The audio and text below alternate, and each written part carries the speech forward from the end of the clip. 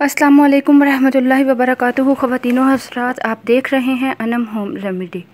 آج کی ویڈیو کا جو موضوع ہے، اس پر جانے سے پہلے آئیے درود شریف کا نذرانہ پیش کرتے ہیں۔ اللہم صلی علی محمد و علی آل سیدنا محمد کما صلیت علی ابراہیم و علی آل ابراہیم، انکا حمید مجید۔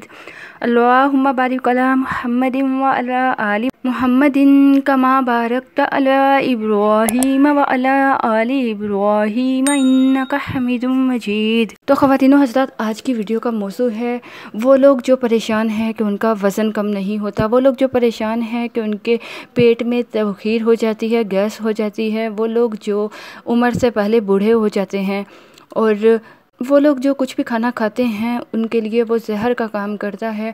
ان کے اسٹمک میں پرابلم کی وجہ سے بہت سارے مسائل ہو جاتے ہیں۔ تو ایک مرتبہ یقین دل سے، صدق دل سے اس عمل کو کر کے دیکھ لیں۔ کھانا کھانے کے بعد ایک بار آپ نے یہ سورہ پڑھنی ہے جو آپ کے ساتھ شیئر کرنے والی ہوں، اللہ عزوجل کے حکم سے، اس سورہ کے پڑھنے سے۔ پڑھنے کے بعد آپ پڑھتے ہو تو آپ کا وزن کم ہو جائے گا، بڑھا ہوا پیٹ اندر چلا جائے گا، پیٹ کی چربی ٹھیک ہو جائے گی اور وقت سے پہلے آپ بوڑھے کبھی نہیں ہوں گے، آپ عمر سے کم نظر آئیں گے۔ انشاءاللہ اللہ پاک اس سورہ کی برکت سے آپ پہ یہ رحمت نازل فرمائیں گے۔ اور سورہ قریش پڑھنے والے کو گیس یا بادی تبخیر کا مسئلہ نہیں ہوتا۔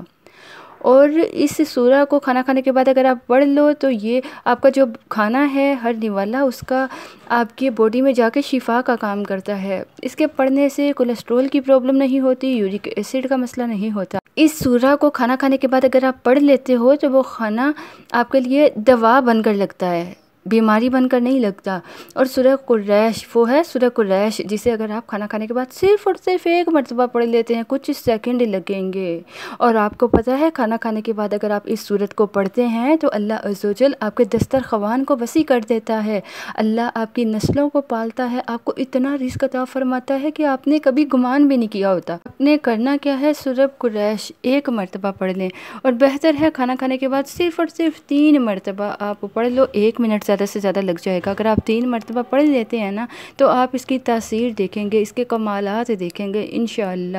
آپ حیران ہوں گے کہ میں نے صرف ایک صورت کھانا کھانے کے بعد پڑھنا شروع کی اور اللہ پاک نے مجھے کہاں سے کہاں پہنچا دیا۔ انشاءاللہ۔ تو آپ ضرور یہ پڑھیے اور اپنے ان پرابلمس کو اللہ کے حکم سے، اس سورہ کی تاثیر سے حل کروائیے۔ جزاک اللہ خیر۔